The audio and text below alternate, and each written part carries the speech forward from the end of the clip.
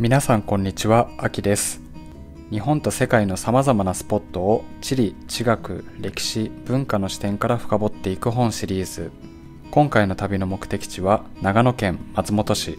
飛騨山脈や上高地などの豊かな自然を有し、古くより信州の中心地の一つとして栄え、同市出身の草間彌生さんをはじめとして芸術、工芸、音楽など文化の街としても有名です。今回の動画では松本城はなぜそこに建てられたのかという問いを中心に地形に紐づいた松本の歴史や文化について皆さんに共有できればと思います。まずは松本の概要をご紹介します。松本市は長野県の中央西部に位置しています。約23万人の人口を有しその面積は県内最大を誇ります。西に飛騨山脈東は美しが原高原など山々と丘陵地に囲まれており本州の中央を縦断する糸魚川静岡構造線に沿うような形でこちらも国内有数の面積を誇る松本盆地が位置しています。松本市街地付近が比較的低地となっているためあずさ川奈良井川田川メトバ川すすき川などの河川がここに流れ込み市内で合流し犀川となって最終的には日本海に流れていきます。このような河川の流れにより草礫が運ばれ扇状地が形成されているのも特徴となっています。また松本には古くは東山道やすぐ南の塩尻にも中山道が通るなど古来より街道が交わる交通の要衝であり信濃の経済の中心地として栄えた都市でもありました。そんな松本ですがまずは実際に俯瞰で盆地の様子を捉えるため松本の奥座敷浅間温泉に向かいたいと思います。今回は上京3年創業の老舗温泉旅館小柳をリノベーションした松本十条さんに宿泊しました。浅間温泉の歴史は古く約1300年以上前の日本書紀にもこの地の温泉に関する記述があると言われています。松本は東日本で最も古い古墳の一つと言われている弘法山古墳に代表されるように古来より人々の営みが見られた地域ですが浅間温泉の歴史もとても古くからのものと推測されています。浅間温泉には御殿山展望台という松本市街地を一望できる場所があるのでそこから糸静線や松本盆地と扇状地の構造そして松本城がどのような場所に築かれているかを俯瞰で見ていこうと思います。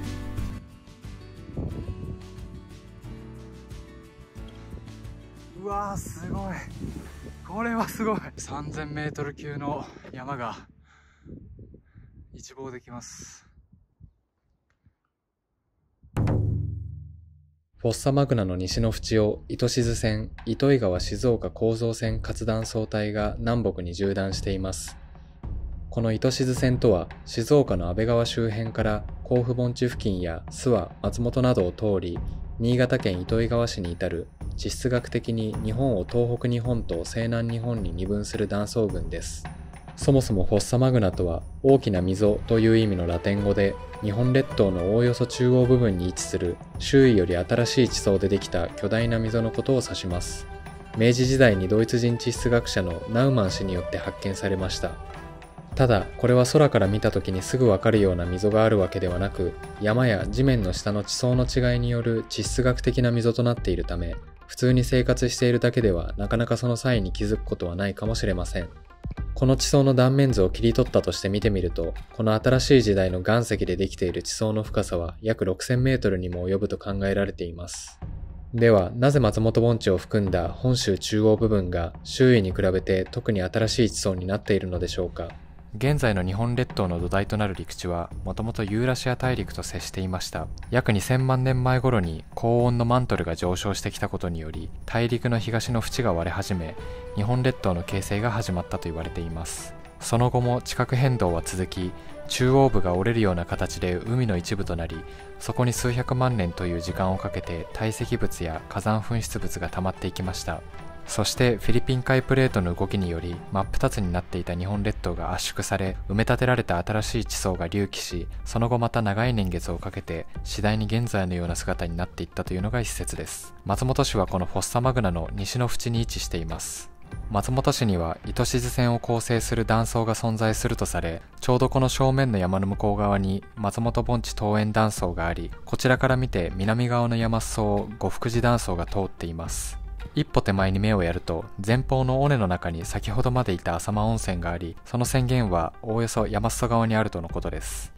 さて本題の松本城の立地についてですがこちらから見てみると盆地の中の標高が低く一見すると守るものがない平らな場所に建てられているようにも見えます。松本城とその前身深志城はいずれもいわゆる平城として作られました。なぜ争いが絶えず守りに優れた山城が多く見られた戦国の時代松本城は平城として築城されたのでしょうか。もちろんそこには合理的な理由があったと推察されます。大きく3つの要素があると考えています。まず1つ目はこれまで紹介してきたような糸静線に位置する松本特有の地形的な特徴からここから俯瞰して見てみると松本城の立地は北と東は小高い山と川南側にも川と城下町を作るのに十分な土地そして西側は断層を利用した高低差によって防御を固めているということがわかります。これが松本が詩人騒音の地と評されるゆえんです。また川といえば目の前にも川が見えますがこちらが冒頭に出てきたメトバ川でこの川が松本城方面に下っていく中で扇状地を形作っています。また少し南の方にはすすき川がありこちらも同じく扇状地を生んでいます。そのため松本城はこれらがちょうど重なる複合扇状地の端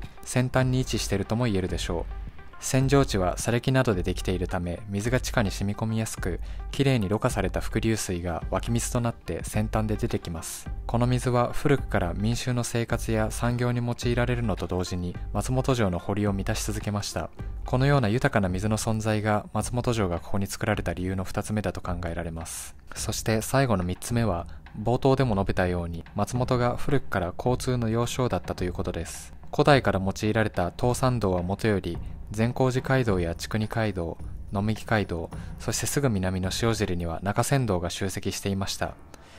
ここに目をつけたのがかの有名な武田晴信です。1548年武田勢は塩尻峠の戦いでこの地を治めていた小笠原氏に勝利し1550年には本拠地であった山城の林城を陥落させました。そしてその後約30年にわたりあえて松本当時の深氏の地を上杉方などとの戦いのために修築し信濃支配の重要拠点としました。この3つの要因はそれぞれ後ほど市街地の中に入りしっかり見ていこうと思います。さてその後の松本深氏の歴史ですが天正10年織田徳川連合軍らの甲州征伐によって武田家は滅亡しますがその後すぐに本能寺の変で織田信長が死去してしまったため空白地帯となった旧武田領の帰属をめぐり徳川北条上杉らによる天正神護の乱が勃発します。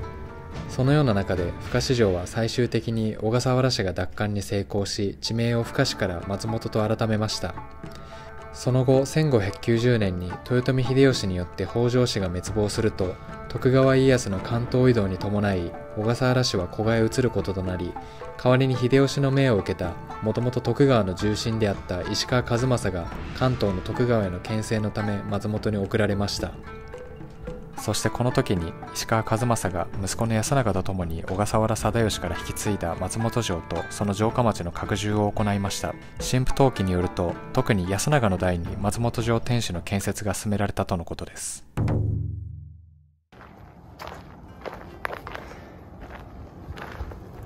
次に、えー、小笠原家の病床へ向かいたいと思います。お墓ですね。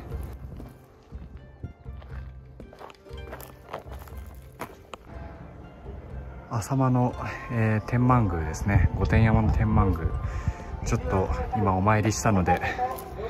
お賽銭を入れようと思います。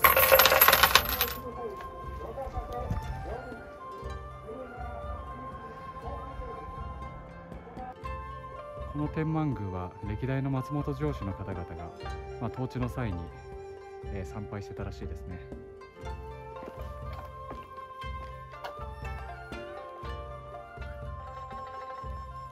ここがかつて松本代々城主が通った松本藩主が通ったリバの湯ですね。いやすごく立派な建物がありますね。今度また機会があったらぜひ入ってみたいですね。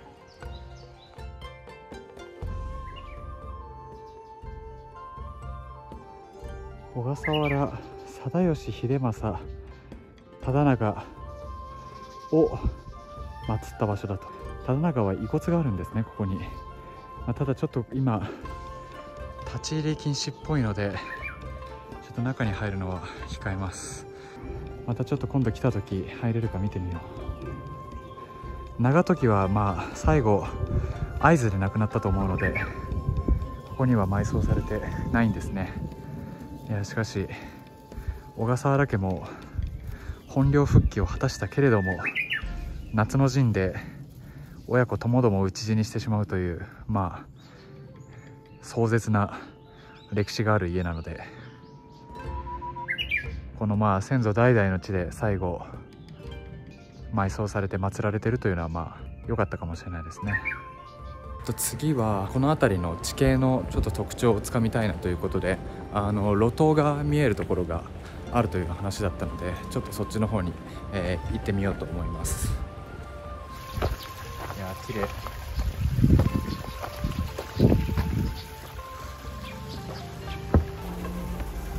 いやこれは分からん。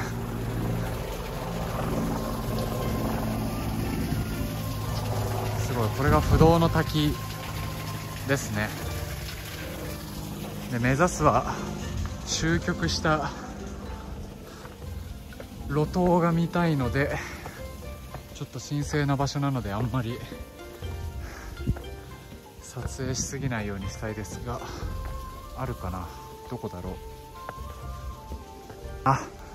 ここですね。すいませんちょっと失礼します。わあ確かにこれはこの地層が一気にここでもうへし曲げられてるんでこれはすごい。いや一目瞭然ですね。確かにここだけすごい露出してるな。こういった、ま、断層地層の終局っていうところから、まあ、破砕帯みたいなものがこの地にあるんじゃないかなと、まあ、そこが宣言となってる、まあ、そういったことが、えー、言われてたりします。お賽銭できそうなところがないな。どうしよう。あのあの箱お賽銭かな？ちょっとわからないですけどでもこんないいもの見せてもらってタダで帰るのも申し訳ないんでちょっとさすがにお賽銭していきたいと思います。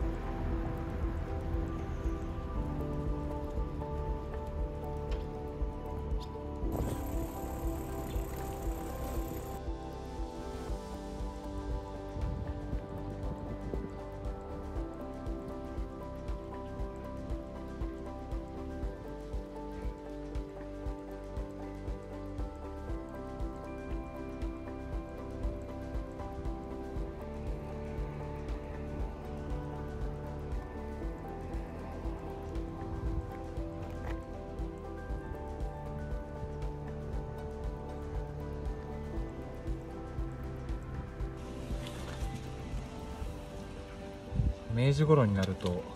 松本城の総堀っていうのはほとんど埋め立てられましたがここの北門の、えー、馬出しがあった部分の近くの総堀っていうのはこういった形で完全に埋め立てられることなく遺構として残っているということですね。そしてここはあの堀を埋め立てた後に井戸が湧いたらしく。いやめちゃくちゃ綺麗。見てくださいこれ。これが扇状地ならではの伏流水の恩恵の一つですね。そしてこちら側には一部総堀が残っています。おそらくここが現代で唯一残ってる総堀跡ですかね。向こうにわたって続いています。いやめちゃくちゃ立派な堀がここにもあったんでしょうね。惜しいな。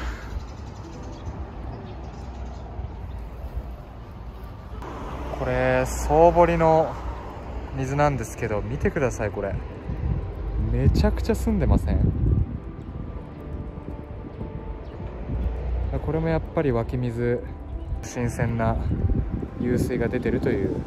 証拠かもしれませんね。いやすごいこの綺麗さ。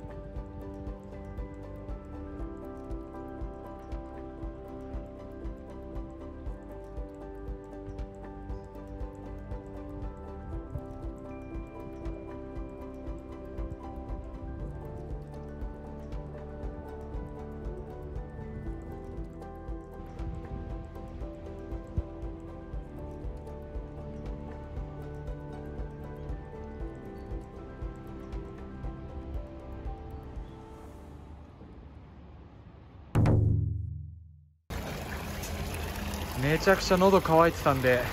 いや助かった。あ。いや危ねえ気づかなかった。ここ、えー、東門の馬出し跡ですね。なる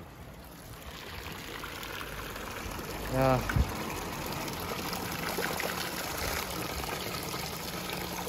あ美味しい。ちょうど向こうの橋ぐらいまではある程度まっすぐ来てたメトバ川がこの辺に来てちょうど曲がり始めてこの辺りから一気にこうぐっと右に曲がっていきます。でお城は向こうの方です。でここから松本駅の方に向かっていって松本駅を越えたところで、えー、鈴木川と合流します、まあ、なんでここがまあ大きな大きな外の堀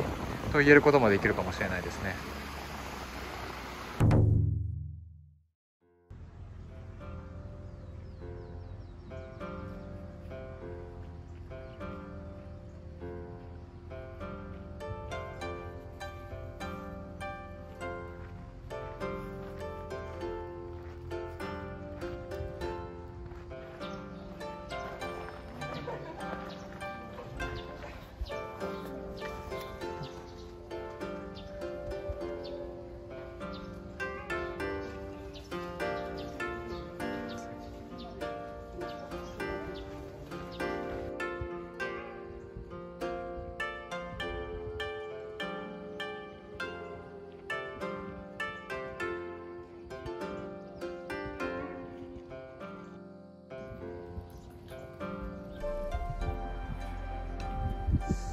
さあついに松本城にやってきました。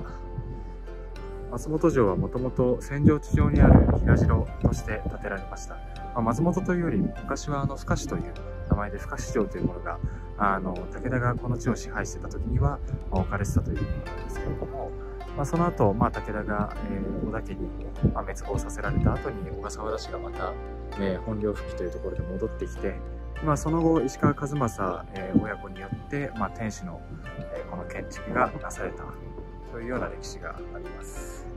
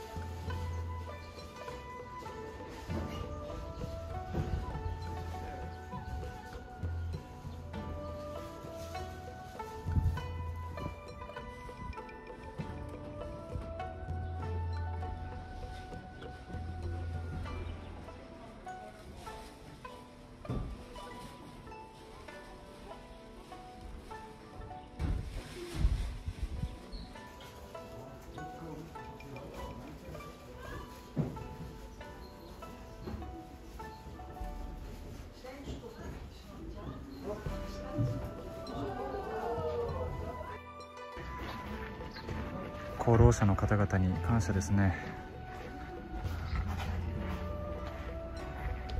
ありがとうございます。こんな素晴らしい城を復興させてくれて。